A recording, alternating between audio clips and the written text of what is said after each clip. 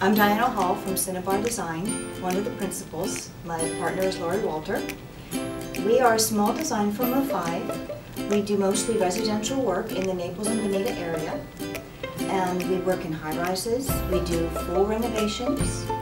We'll, we'll start with the builder, pick out all the selections with the client, and work our way all the way up with the furniture through the design phase. And we love to do that because we get a very cohesive look when we do that.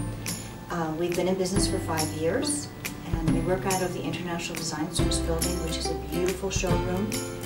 And it gives, it has a feeling of a furniture store, and it's really a lovely place to shop. You can sit in the furniture first, and then we order what you like and what colors you like. We have been very fortunate, and we've won quite a few awards: the Aurora Award, Pinnacle Awards, and the coveted Sand Dollar Awards for um, both some condos that we've done, some high rises, luxury condos, and single family homes for um, kitchen design, outdoor living, and um, won Best Master Suite just recently. So that really is an honor to um, win those awards. Why I love Wilson Lighting. Wilson Lighting, aside from the excellent location, it is like walking into family. Everyone knows who we are, everyone says hello. It is the most warm, welcoming place you ever want to buy lighting from.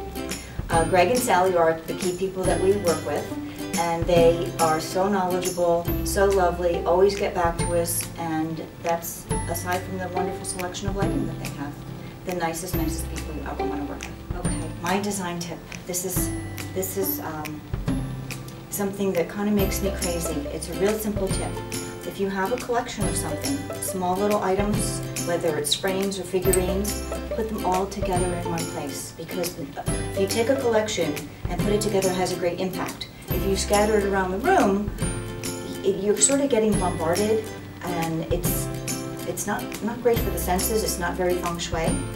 And the other tip is instead of a lot of little accessories, a couple big ones, a few big ones in the center of the table versus a lot of small things. And that will give you a much more cohesive look. I hope you enjoyed the tip. Um, again, I'm Dianna Hall from Cinnabar Design. Please go to our website, cinnabardesign.net, and check us out. And you'll also find us on Houzz. Thank you so much.